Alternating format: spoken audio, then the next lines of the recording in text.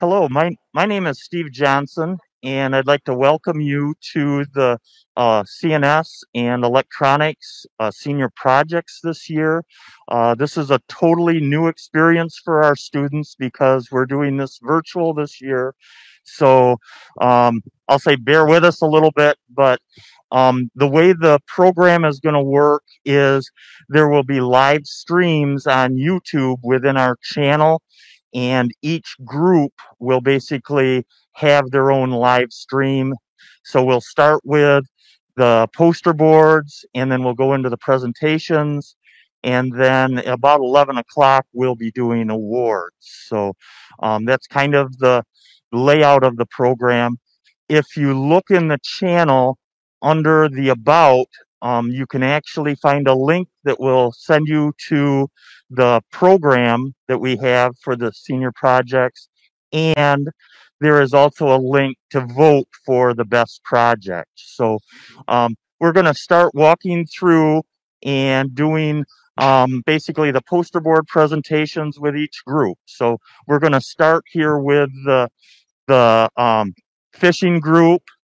And if you can, Jeff. Okay, okay. And so the first group here is an automated fishing fisherman, automated fisherman. And if you could tell us a little bit about your project. Yeah, sure thing. Um, I'm David with the Automated Fisher- Fisherman Group. I'm also joined by Nathan and Riley. So the purpose of what we did is we decided to go and automate a fishing pole. So it is run by a, a motor. We go through and then we have a flexible sensor on the end that will de- detect any deflections, which is uh, locking into our uh, our fish bite. So with that, we're it's all controlled by an HMI, with Nathan's going to go over shortly. We have some of our programming that will go into more depth when we uh, actually get into the presentation. But with that, I'll introduce Nathan, and he'll go over like the HMI. All right, so sneak around here. All right, so uh, we'll go through here and we'll actually do, um, we'll kind of explain here what we have for our screen setup, um, and then we'll go through and we'll do the actual setup um, and show how this all operates. So we start off um, at this home screen, this beginning screen here. Um, the first thing you do um, is you set your water level. So you set the point where you want the lure or bait or wherever you want to sit. So you confirm that, you confirm that height, and then you go down uh, when you enter your fishing depth. So you enter um, how deep basically you want to have your lure sit.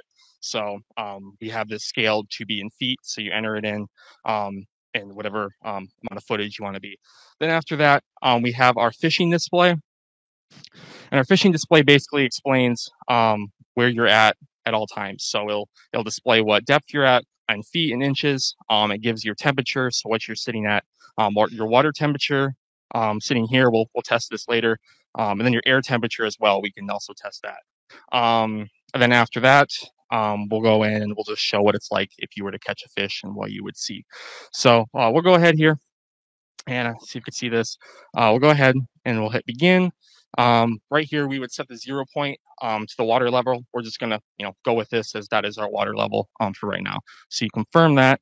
You would go to your automatic mode. Then let's just go down. Let's just go down two feet just for just for this presentation. Go down two feet. Confirm it. And as you can see, it tracks down, goes down two feet below um, your set point. Um, so at this point, I'll hold the mic, really. Take this, so we're gonna do. Um, I'm gonna just show the water temperature here. So right now it looks like air temp sitting at about oh 75 in here. As you can see, this is a thing of ice water we have here. Um, and it's dropping down obviously to what would be close to the freezing point. Um, so we'll go ahead here. We'll decide. Let's change the depth. So we'll go in. Uh, we're going to change depth. So we're going to go up. Let's go. Let's go one foot. So we'll go here. We'll change our depth. We'll confirm that. And now we're going to be sitting at one foot below our zero point or our water level. And then now, say um, we do get a fish bite in the end, like David was saying with this, this flex sensor, you can go ahead and bend it. Your fish light, fish on light comes on, um, releases back to that original zero point. and at this point, um, you can go in and say you're done fishing. Um, you want to sure you want to be done fishing? Yes, we do. Um, and we'll go back to the home screen as well. So um, that's basic rundown. We do also have on the back end of this a proximity sensor. And what that proximity sensor does, it's like an extra safety precaution. So at this point, uh, as it's sitting on the prox sensor, uh, we can't do anything. So until it is sitting off the prox sensor, um, we are not able to let line in, let line out, do any sort of um, fishing whatsoever. So if you wanted to reel in, reel out, none of these are going to work um, while it's sitting on that prox sensor. So, um, all right, I think I will uh, hand it over to Riley, and he'll kind of go over um, panel itself and some of the hardware that we have. Well, to start, you can kind of see our original sketch of where we began with. We didn't know where we were going to go with this. Can't even really tell what it is. And then here, obviously, is our finished project. So it's kind of pretty good accomplishment to go from something like that to an actual working design. Um, we had to usually like where I work, all of our panels it's just straight I/O, so we had to do a little bit of adjustment, adding a breadboard in and getting wires to stay into a breadboard. But for that, we for our sensors, which detect how much line is in or out, we had to use a pull-up resistor on uh, Hall effect sensors, which senses a magnetic field and goes close, so we get a pulse to our PLC, so we can get a one shot to our counter, so we can count line in and out. Then also our flex sensor, we had to build a voltage divider because our card can only take zero to 10 volts in.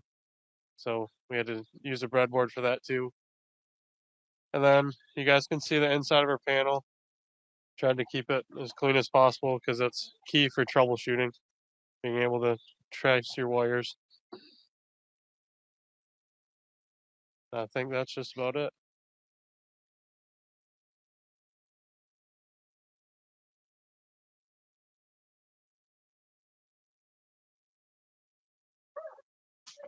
Okay, so that's the automated uh, fisherman, and basically it's a I'll say a PLC project to automate uh, catching fish.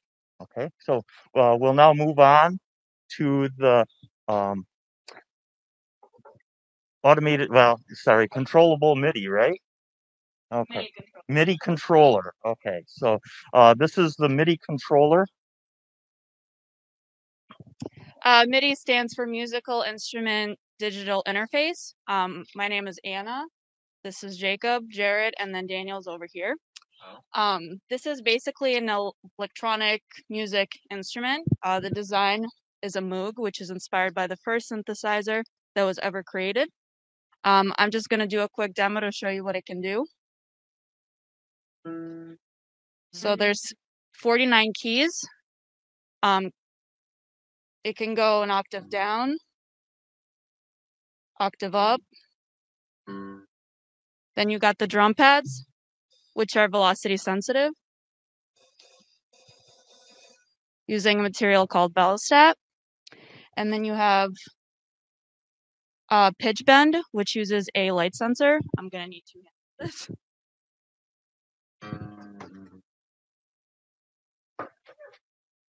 Uh, the more light there is, uh, or the less light there is, the voltage goes down.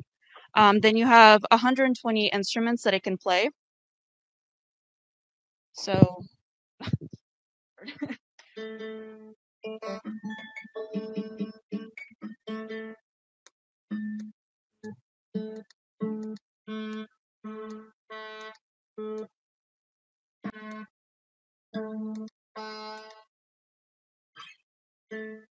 And back to the mm-hmm. piano. Also has a volume knob. Mm-hmm. And then a full volume button to ignore the mm-hmm. volume knob. As well as a record of one track. And a playback. And I'm going to have uh, whoever's next talk about the interior of this. All right. Uh, so on the interior of this, we have our Arduino Due.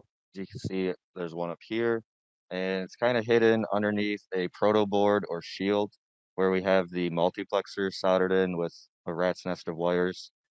Um, we also have the drum pad and the light sensor soldered into the proto shield, and then the piano keys are plugged in with a ribbon cable. Um, so this is a wooden box that we made out of pine and stained it and clear coated it to be able to fit everything in. And then we have a hinge door on the bottom so that we can open it up and get on the inside. But it's pretty messy if you see the picture up here.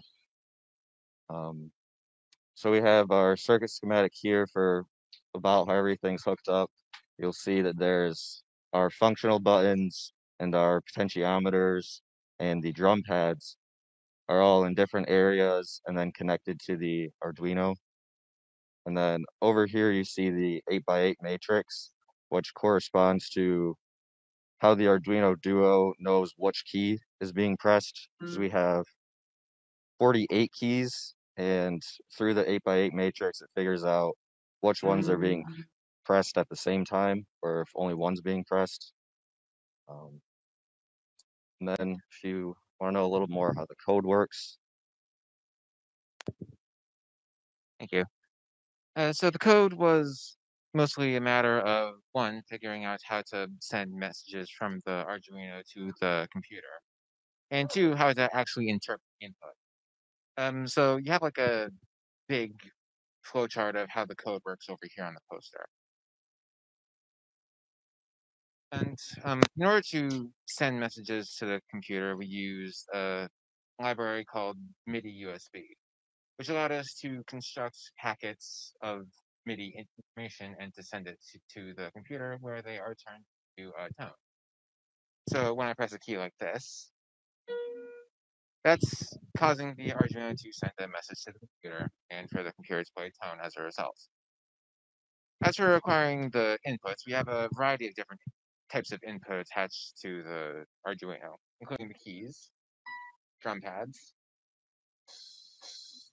the pitch bend, and a variety of other, well, and a variety of other knobs and buttons. So one of the big focuses of the code was trying to interpret all of these different methods of input and to convert them into audible and pleasant sounds. Um, so for a little bit more about this project, here's Jacob. Thank you. So for the project, as far as the project goes, I went ahead and just wanted to show you a little bit about how it actually turns out playing itself. Here, could you hold this for a moment? Yeah. Speakers while I step here and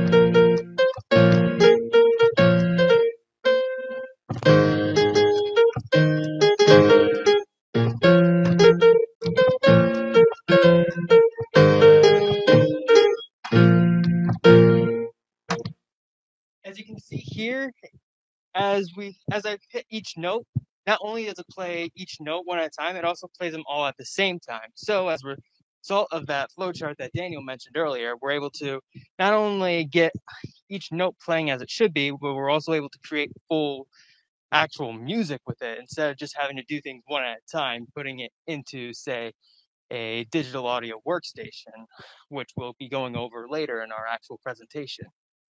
As for the MIDI device itself, this was a nice long journey for us. We learned quite a lot from doing this, and we are quite looking forward to showing you exactly how we did all of this. Okay, so that's the uh, controllable MIDI, and we'll move on to our next project, which is an automated uh, wood splitter.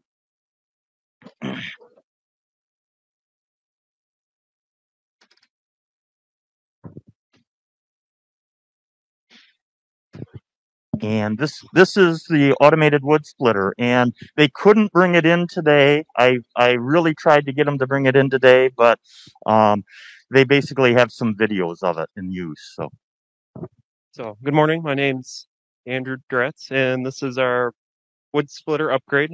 And unfortunately, as Steve said, it would not fit in the elevator up here as much as we would like to show it off. But basically, it's a PLC project in which we're controlling a servo valve and driving the ram that pushes the log against the wedge as a typical hydraulic splitter works, but instead we're using accumulators to make up for a smaller pump.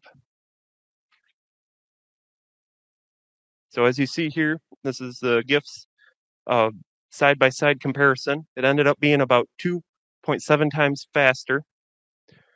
Not quite our goal, but it's still a vast improvement.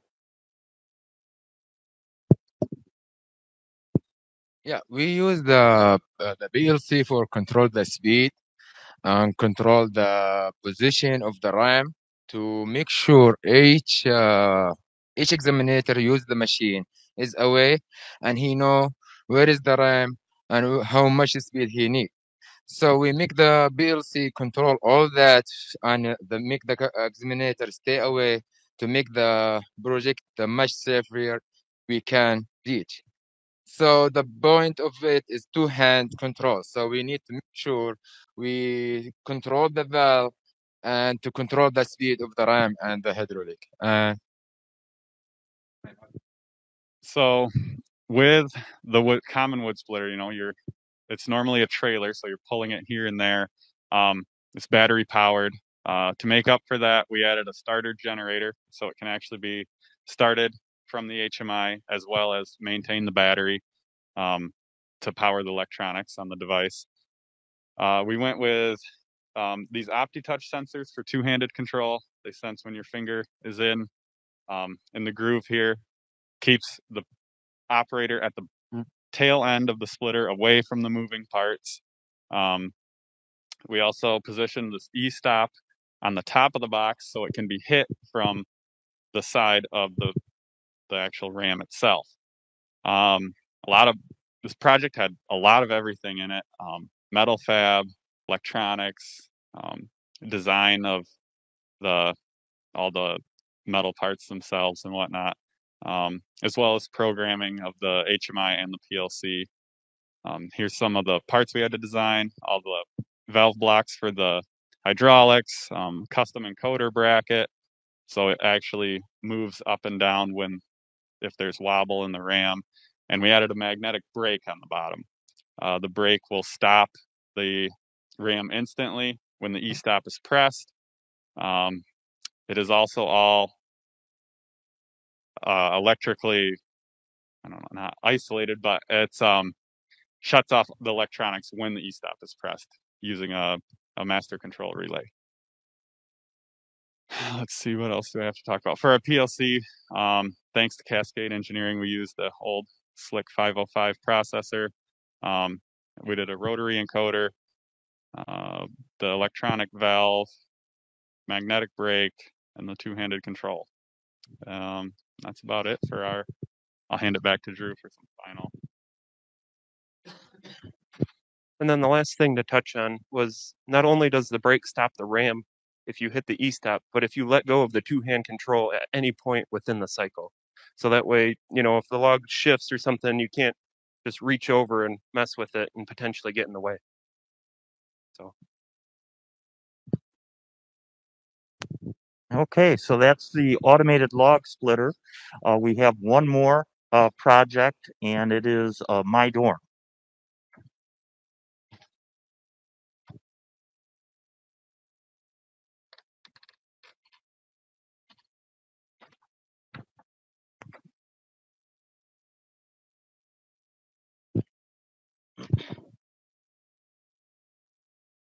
And this is uh, my dorm. It is, um, I'll say, uh, Internet of Things um, type project. So Yeah, so basically, like you said, kind of got Internet of Things, home automation based product here. So you've got a door lock, a light, a heater that you can got hide behind there, and then we have a window, all which can be controlled from a website or using Amazon Alexa, and I'll show that off in a minute.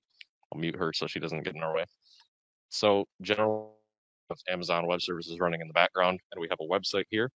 When you interact with the website or you interact with Alexa, it's going to send messages to our Raspberry Pi microcomputers that we've got running in the background. You can see one of them behind the light here. And so when you send those messages, the Raspberry Pi receives it and runs it through some code.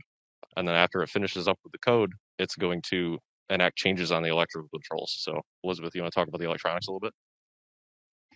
So I'll talk about a couple of our details, and then I'll hand it off to Abdul to get more into depth on the motor aspects of our project. So to begin with, we have our light here, which we can not only control through the website, but we also have a little push button here that if the student wanted to, could come in and manually control their room light. I don't know if you can see that.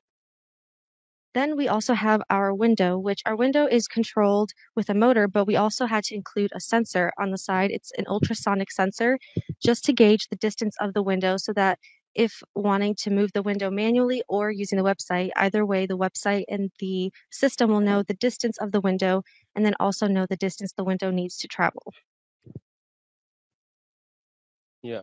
So if you in the so in the bad situation and if the electric off or something and we disconnect the window from the motors uh, after everything's back the motor the ultrasound system will will uh, uh, readjust the motor back in the same position with the window.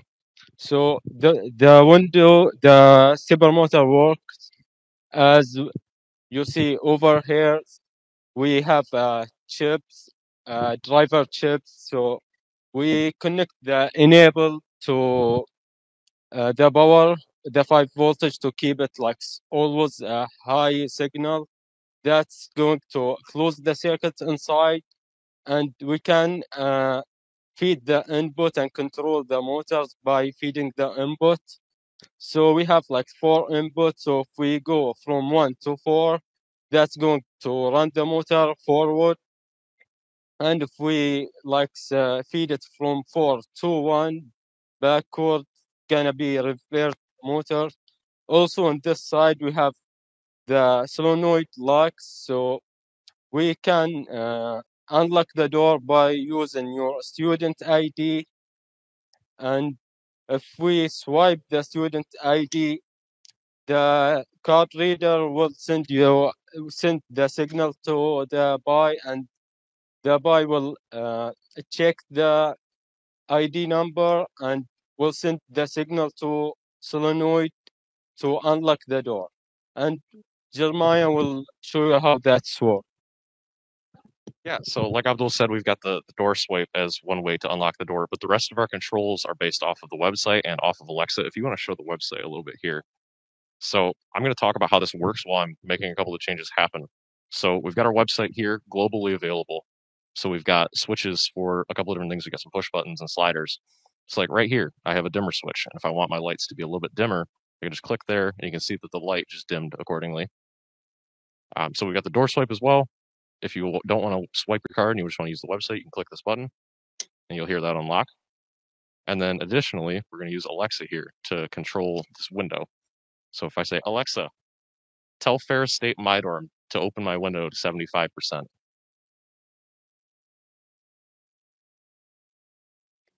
So Alexa hears that message and then we'll start to move the window accordingly. So basically what's happening in the background here is whether you're talking to Alexa or you're sending a message to and from the website, those messages are being sent through Amazon's cloud infrastructure. And when the cloud infrastructure hears that, our Pis are also listening for that same message and will run them through their custom code to figure out what's going on. So if you send the cl- if you click the button to unlock the door, for example, it's going to send a message that says door unlocked. And then the Raspberry Pi that we have hooked up to the solenoid of the door lock will hear that message. And if that's the right message it's listening for, it'll send out input or output on its pins to unlock the door, sending a message to the solenoid. So all that code was more Jeff's wheelhouse. So I'm going to pass this to him talk about that a little bit. So as previously mentioned by Jeremiah, our Raspberry Pis were kind of the intermediary between the website and the electrical controls designed by Elizabeth and Abdul. Basically, the main challenge was to uh, decipher what was coming down from the website. Sorry. Coming down from the website, whether it was a change physically or a change on the website. So say if somebody swiped their door, that sends a message to the website, which then in return the website acknowledges that and sends a message back. So the challenge was to decipher logic that would determine whether it was a change physically or on the website. and uh, inversely, if somebody made a change on the website, came down, like I said previously, it would have to determine how that worked. Um, so I'll get into more detail about this in the presentation, but a few flowcharts here kind of identify how that works. And um, altogether, uh, the Pis control about the four, the four subsystems, which are the door lock, the heater, the, the window, and the light. And we, we have one of them visible right here, the light Pi, but the rest are hidden behind here in our guts, which I don't know if you can see with the camera.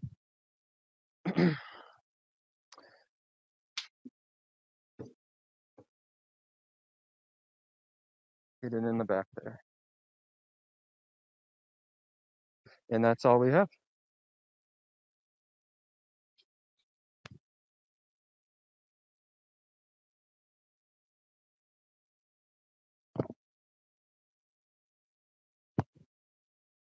Okay, so that's um, our four projects. Um, presentations will actually begin at nine o'clock.